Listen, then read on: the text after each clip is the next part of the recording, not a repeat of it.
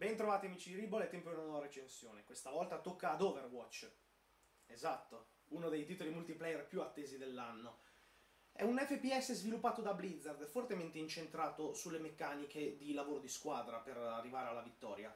Riuscirà a soddisfare le nostre aspettative in termini di gameplay? Tu no!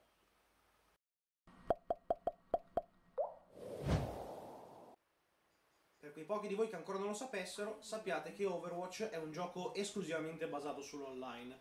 A parte la training room, non esistono modalità single player in questo gioco, quindi l'intero contenuto è trovato all'interno del comparto multiplayer. Al che possono iniziare a venire dei dubbi, perché sinceramente 12 mappe in 4 modalità, 3 mappe per modalità, e 21 eroi in un roster sì, eh, carismatico, ben disegnato, e simpatico, però 21 non è tantissimo per un gioco online venduto a 40 euro in versione base esclusivamente su PC oppure 60 euro uh, su console e anche su PC nella versione Origins. Bastano 21 personaggi e 12 mappe per rendere il gioco interessante? Deve essere fatto veramente bene in termini di gameplay e di stile grafico e intrattenimento per tenere incollate le persone per decine di ore con solamente 12 mappe.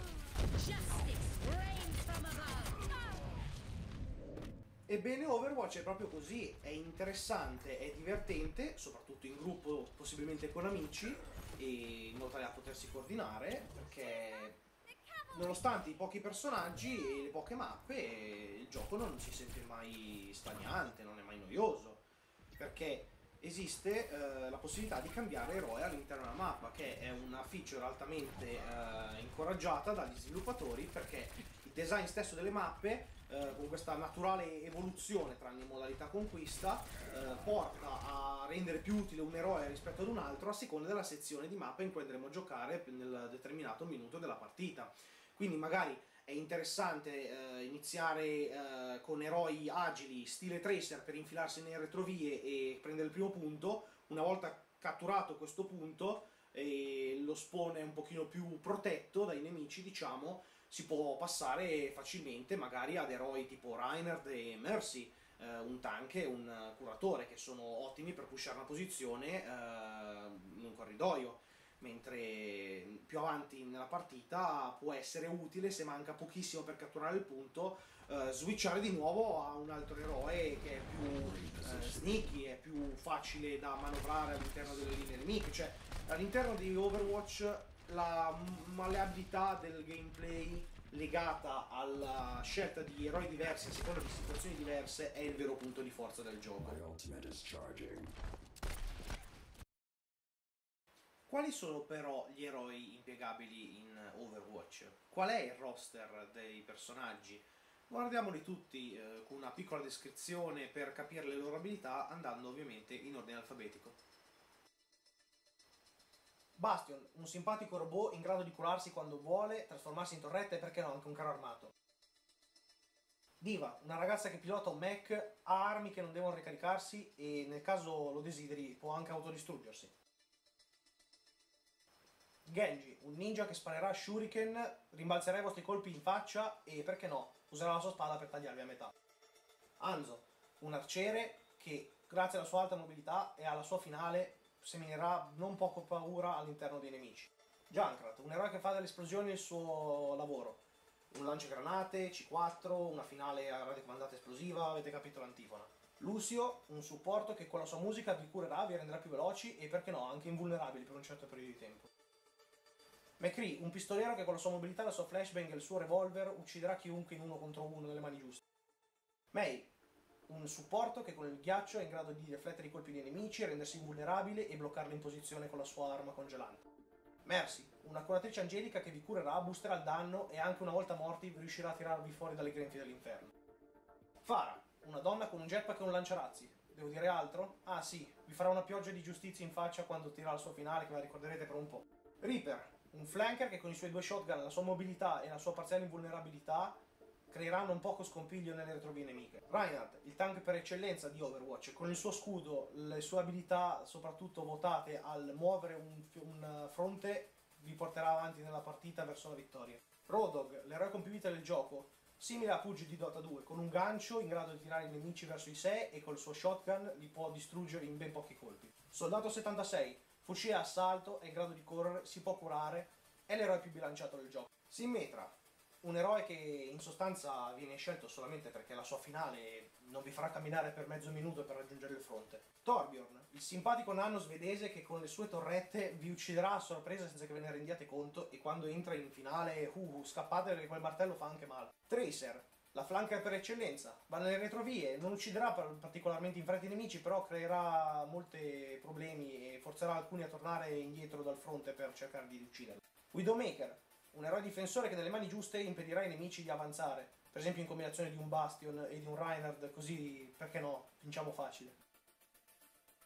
Winston, uno scimmie scienziato che salterà addosso ai nemici col suo cannone elettrico dalla gittata bassa, però dal danno debole costante, e nel caso entri in finale scappate perché vi tirerà di quelle botte da orbi che ve le ricorderete. Zarya, altro tank del gioco, che usa gli scudi per assorbire danni e convertirli in un aumento di danno della sua arma principale. Però il vero punto di forza è la sua finale, che avvicinerà i nemici in un solo punto, costringendoli a rimanere fermi. Zenyatta, eroe potentissimo nelle mani giuste, è un supporto in grado di curare gli alleati, far fare più danni ai nemici e nella sua finale può curare tutti gli alleati in una zona diventando invulnerabile.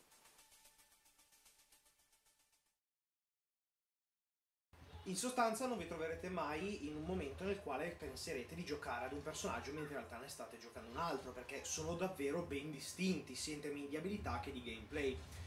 Però l'altra faccia della medaglia di questo fatto è che è difficile trovare un balance veramente perfetto di questa combinazione di eroi.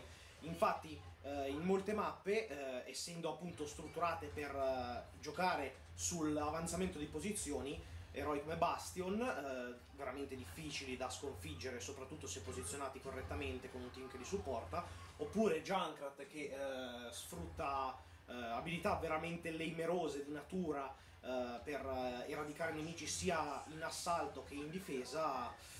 Uh, non resta che dire che il balance del gioco non è perfetto. È brutto giocare a Overwatch? Assolutamente no, però uh, è anche ovvio che in un gioco basato fortemente sul multiplayer online ci si aspettava al lancio, soprattutto dopo quasi sei mesi, se non di più addirittura, di beta, un balance perfetto. Tecnicamente parlando invece Overwatch è decisamente ottimo, non c'è assolutamente niente di cui lamentarsi, specialmente perché è uno di quei pochi giochi online che ci sono sia su PC e console e garantiscono su tutte le piattaforme un livello grafico simile a 1080p a 60 frame al secondo nel caso delle console la risoluzione è dinamica, però i 60 frame al secondo, che sono il punto chiave fondamentale di ogni gioco multiplayer online, sono raggiunti e sono mantenuti nel corso dell'esperienza. Perciò ottimo lavoro Blizzard da questo punto di vista. I colori sono vivaci, lo stile che permea il gioco è davvero unico e immediatamente riconoscibile. I personaggi sono ben disegnati, le voci sono davvero azzeccate per rappresentare proprio il comportamento e il carattere del personaggio fin da subito senza neanche averci mai giocato o sapere niente della backstory. Uh, che dire, le armi funzionano bene, sono, uh, hanno un buon feel, uh, le musiche sono buone, niente di spettacolare, però assolutamente nulla che eh, possa annoiarci nel corso dell'esperienza. Quindi passa quasi completamente a pieni voti dal lato tecnico Overwatch, niente male.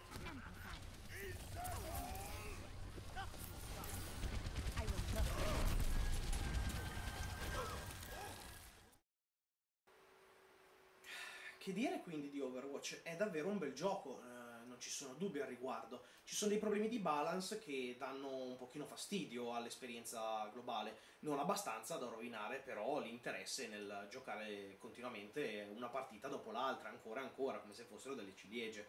Se desiderate però scoprire ulteriori informazioni riguardo ai problemi di balance che minano l'esperienza di gioco, impedendo al titolo di essere considerato un uh, gioco propriamente competitivo, leggete la recensione testuale nel link che trovate qui sotto nella descrizione del video e spero di riuscire a soddisfare la vostra sete di sapere.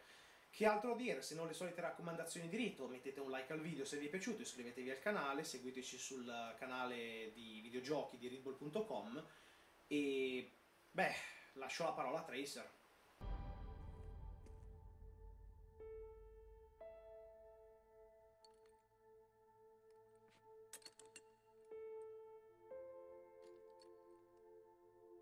You know, the world could always use more heroes.